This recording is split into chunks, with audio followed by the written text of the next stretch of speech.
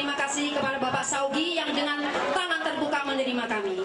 Sejumlah artis tanah air era 70 sampai 80-an mendeklarasikan dukungan memenangkan pasangan calon nomor urut 1 Anies Baswedan dan Muhaimin Iskandar dalam Pilpres 2024 di Jakarta Pusat, Jumat 26 Januari. Salah satu penyanyi tahun 80-an, Sophie Jasmine, mewakili rekan-rekannya menyampaikan dukungan pada Amin karena mempercayai kepedulian Amin terhadap para pejuang seni, terutama yang sudah senior.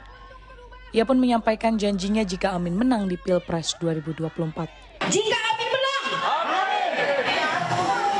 dan memang akan menang. Amin. Kami ingin sekali membuat Yayasan Artis Indonesia. Setuju?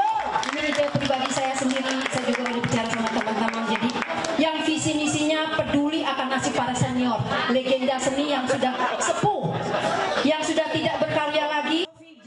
Turut hadir dalam kegiatan ini Kapten Timnas Amin Muhammad Syaugi Alaidrus, di mana ia pun menyampaikan harapannya kepada para pendukung. Jadi saya berharap Bapak Ibu para artis senior ini segera mengajak teman-temannya lagi.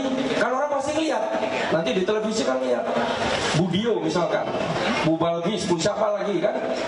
Lihat oh ini panutan saya pasti ikut ya jadi memang diperlukan public figure yang memang benar dan tujuannya ke orang yang benar